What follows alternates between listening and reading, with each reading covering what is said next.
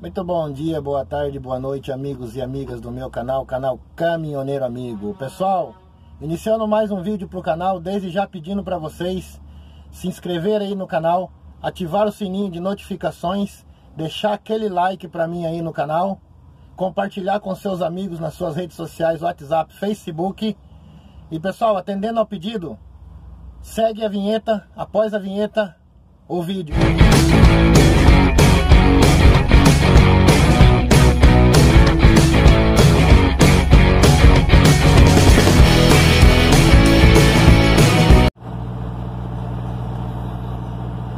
Iniciando mais um vídeo aqui pro canal, pessoal. Parei aqui no Alto Posto Esplanada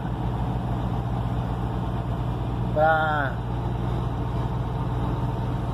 tomar um cafezinho, dar uma descansada e já tô reiniciando a viagem novamente.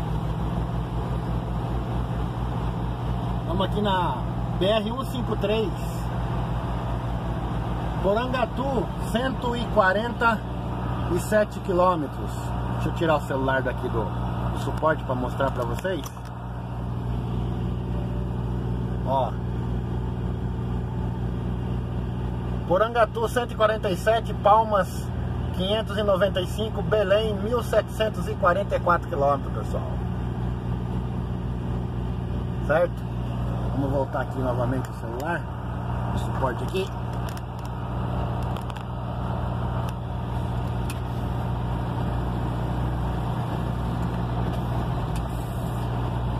E vamos saindo aqui na BR. E agora, galera, próxima parada. Só Deus sabe aonde, né? Porque eu não conheço. Mas vamos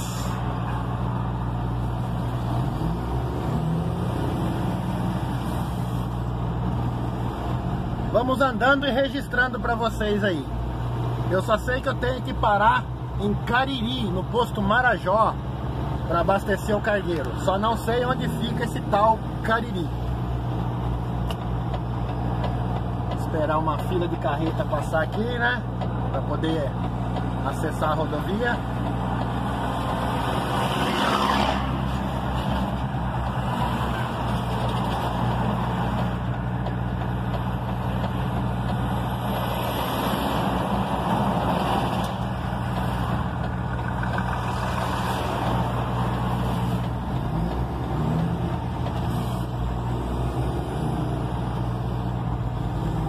É isso aí, pessoal. Vamos que vamos.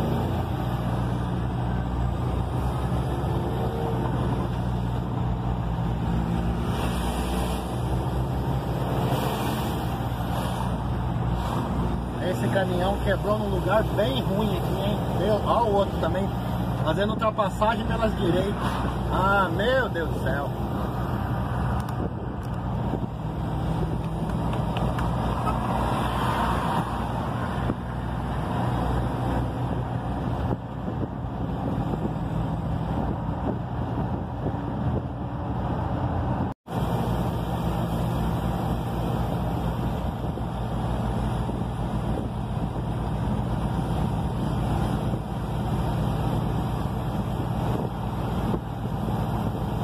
Passando aqui uma cidadezinha do lado esquerdo do vídeo.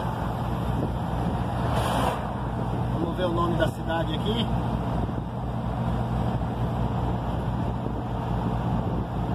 São Luís do Norte, cidadezinha de São Luís do Norte, galera, do lado esquerdo.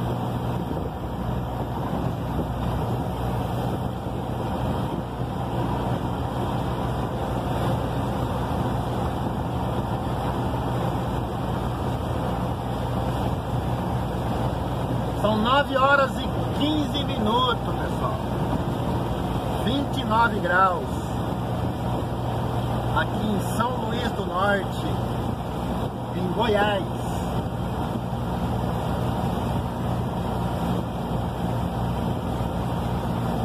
Vamos fazer divisa daqui a pouquinho ali com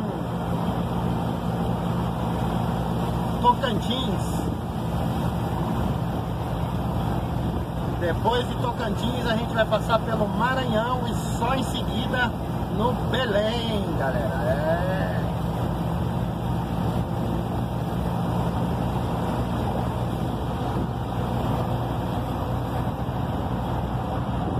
Posto Churrascaria Tigrão aqui do lado esquerdo do vídeo.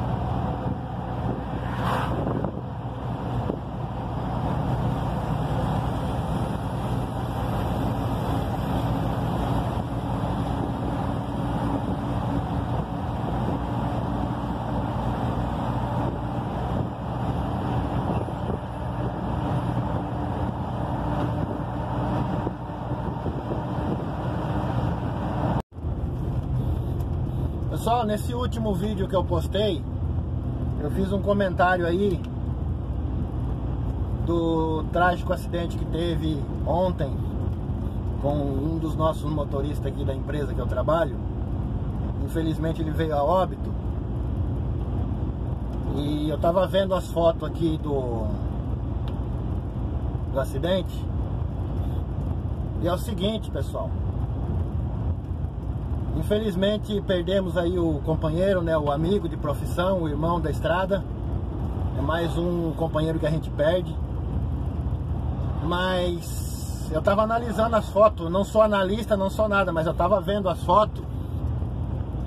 E pelo que deu a entender ali, pessoal, ele não estava usando cinto de segurança, eu acho.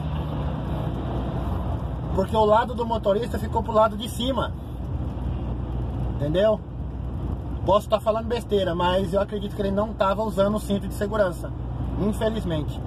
Por isso que toda vez no meu canal eu falo, pessoal, eu mostro, bota o cinto de segurança, usem o cinto de segurança, cinto de segurança salva vidas. Mas é complicado, né? Apesar que nós estamos em 2020, pessoal. Na época que nós estamos hoje, ainda tem muitos motoristas que ignoram o uso do cinto de segurança certo? Aí é complicado. O cinto de segurança salva a vida sim. Que inclusive até teve um inscrito aqui no meu canal, galera, que veio perguntar para mim qual o motivo que eu tanto falo em cinto de segurança. Por que, que eu tanto falo em usar cinto, em usar cinto? Eu expliquei para ele a situação e volto a explicar novamente, ó. Se esse rapaz tivesse de cinto de segurança, ele não teria morrido, com certeza, porque a parte que foi mais afetada foi a parte do carona. Pode olhar aí na foto, a parte do carona foi mais afetada. Se ele caiu, se ele morreu, porque ele não estava usando o cinto e quando tombou ele caiu para baixo, na parte do, do, do carona. Então, pessoal, eu sempre falo, entrou no teu caminhão, entrou no teu carro, cinto de segurança, cinto de segurança, pessoal. Eu sempre falo aqui no meu canal e sempre vou falar. Sempre usem o cinto de segurança. Motorista, carona no caminhão, use o cinto de segurança. No seu carro, motorista, passageiro do banco da frente, tanto do banco de trás, quanto estiver no banco de trás, afivelem o cinto de segurança, certo, pessoal? Fica a dica para vocês aí. Nunca ande nas rodovias sem o cinto de segurança. Porque você pode tapear a polícia. Você pode tapear qualquer um aí com o cinto de segurança afivelado sem estar correto. Mas a morte você não tapeia não. A morte você não tapeia, gente. Por isso eu falo, usem o cinto de segurança. Fica a dica, galera, certo? E vamos que vamos.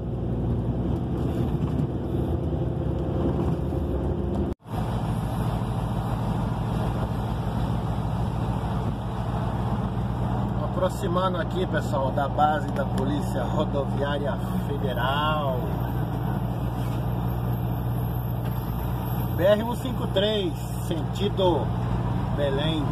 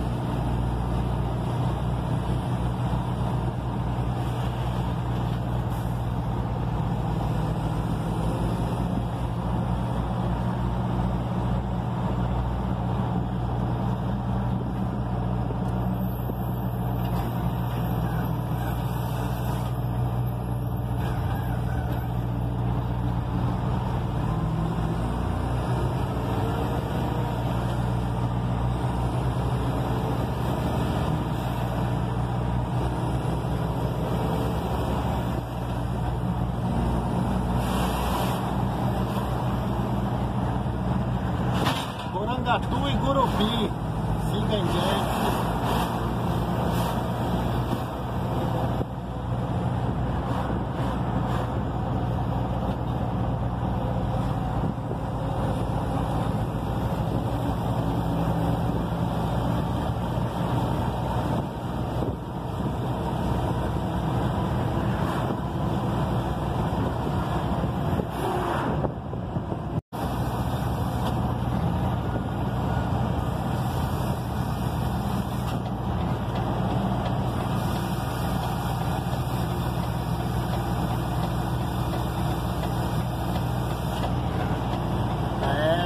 acidente por aqui.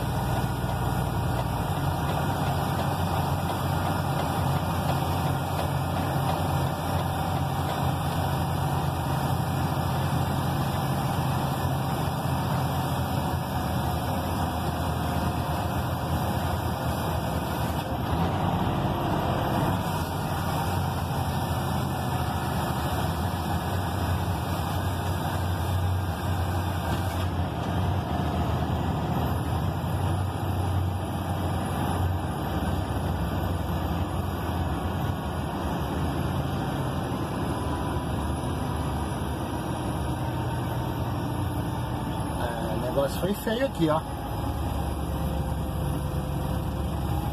Essa preta aqui. Mais um ali, dois enfiados ali, mais um aqui, ó.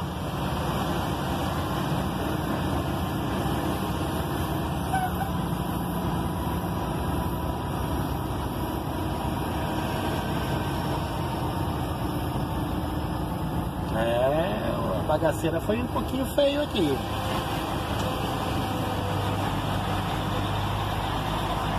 Acidente aqui na BR-153, galera.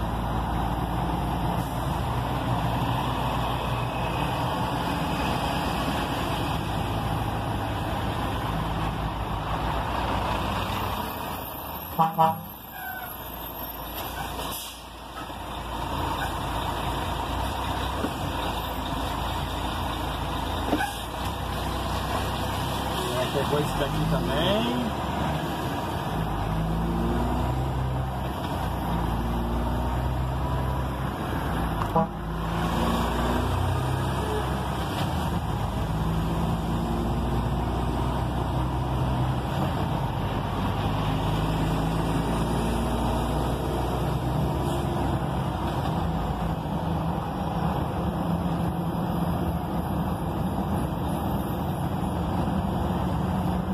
É isso aí, pessoal. Tem que tomar cuidado aí, ó. Só cargueiro ali batido ali, ó. Só cargueiro.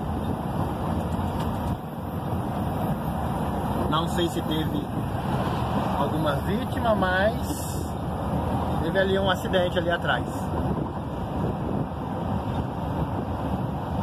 É, e o acidente acabou de acontecer, galera. Acabou de acontecer. Tem pouquíssimo tempo que aqueles dois caminhões me passou pouco mais lá para trás.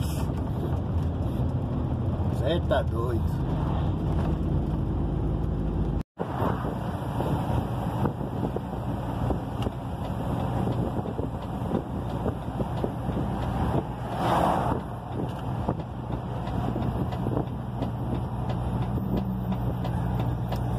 Paradinha aqui, galera.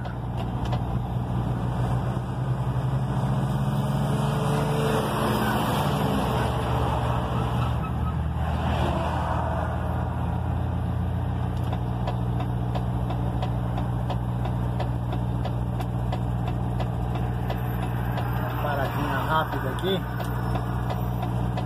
E a gente já continua. Tem uma paradinha aqui, pessoal, para dar uma olhada ali no nos pneus. Tava meio mole, meio molão aqui a, a, a carreta. Fui dar uma olhada para ver se tinha algum pneu furado. Não é não. É os buracos mesmo aqui da rodovia que dá a impressão que tinha pneu furado, mas vamos que vamos, pessoal. São 12 horas e 16 minutos. Faltando 193 para chegar em Gurupi.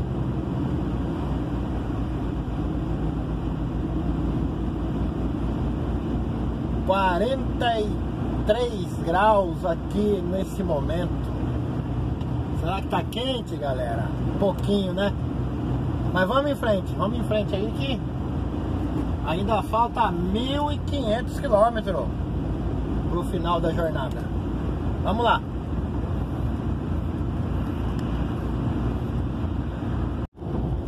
Posto Miriam. Posto Miriam 1. Dá uma paradinha nesse posto aqui, galera, para almoçar, né? Esquentar o, o gordurame, como se diz, esquentar o gordurame e depois continuar a jornada. São 12 horas e 23 minutos, pessoal. Vou caçar uma sombrinha aqui, né?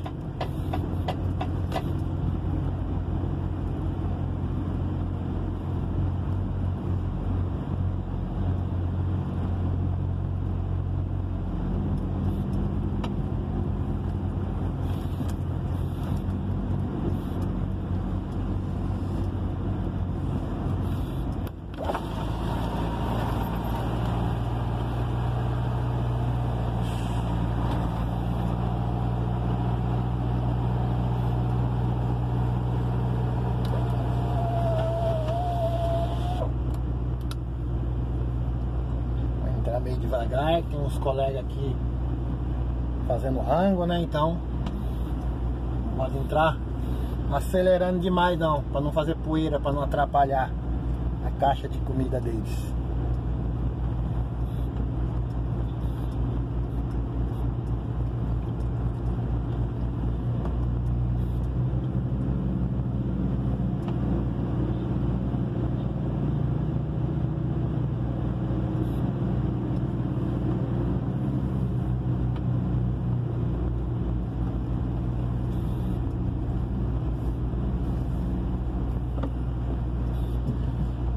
Isso aí, pessoal. Vamos fazer um rango por aqui. E depois, mais tarde, a gente dá continuidade nas viagens, certo, pessoal? Até daqui a pouco. Bom, é isso aí, pessoal. 13 horas e 2 minutos. Vamos saindo daqui, né? Onde a gente parou pra fazer aquele rango. E vamos dar reinício à jornada.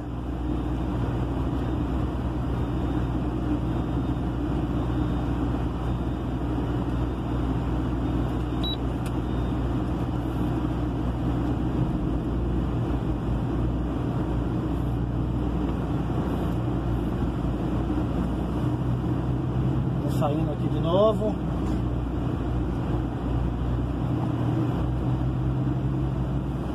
E dar continuidade na caminhada.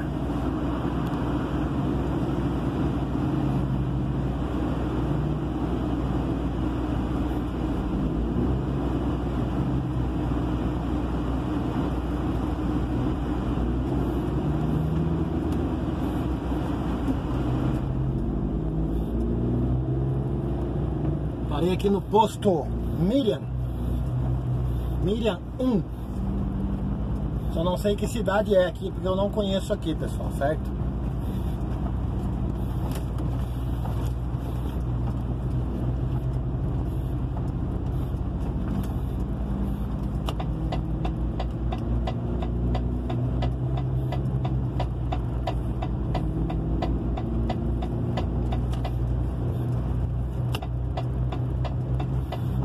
Pessoal, tá 42 graus aqui.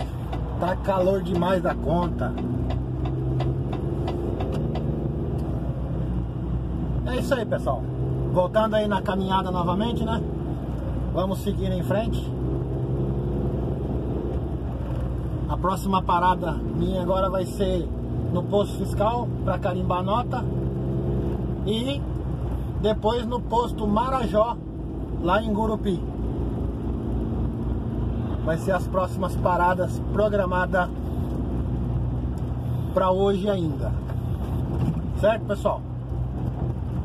Pessoal, deixa eu agradecer a todos aí que tá inscritos no meu canal. Deus abençoe a todos. Muito obrigado a vocês por estar tá me acompanhando aí a trajetória aí do caminhoneiro amigo.